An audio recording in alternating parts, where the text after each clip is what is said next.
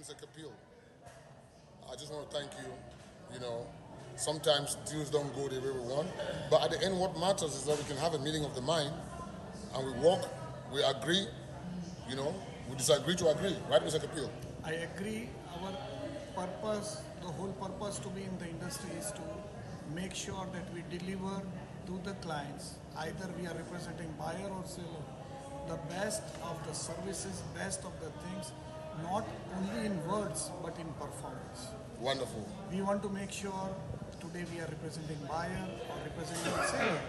But either way we change the situation. Tomorrow we are representing seller or buyer. We treat everybody fair, rightly, and the way they should be respectfully treated to make a fair, honest transaction. And we always put the client first. First. Yes, the client first.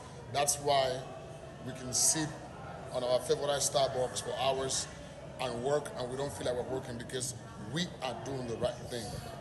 Be careful who represents you when you're buying your next home. Absolutely. Buying or selling, make sure that you select a right agent who works for you, who put your interest in front of anything else and do everything rightly and transparently.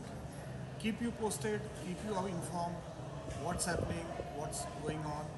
Things sometimes goes out of way because of uh, things which are not in our control. Wonderful, But the intention should be pure. wonderful, wonderful. And I can't wait to close this deal, Mr. Capillo. Ciao.